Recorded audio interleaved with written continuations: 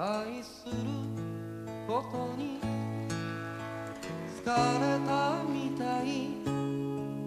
嫌いになった。わけじゃない。部屋の明かりは。つけてゆくわ。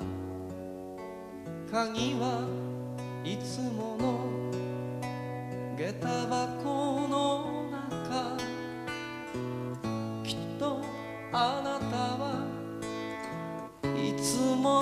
のことと笑い飛ばすに違いないだけど今度は本気みたいあなたの顔もちらつか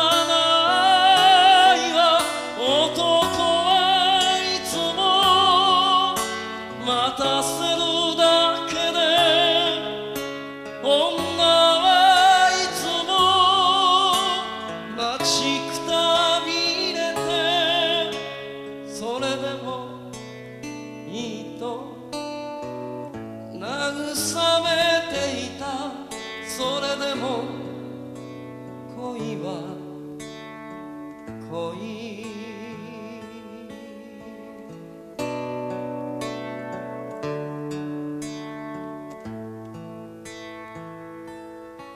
多分あなたはいつもの店で酒を飲んで管を巻いて洗濯物は机の上に短い手紙添えておくわ。今度生まれてくるとしたならやっぱり女で生まれてみたい。だけど二度とヘマはしない。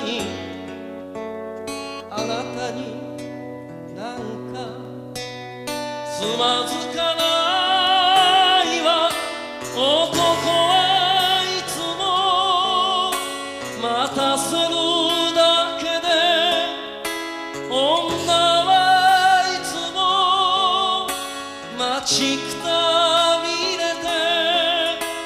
それでもいいと慰めていた。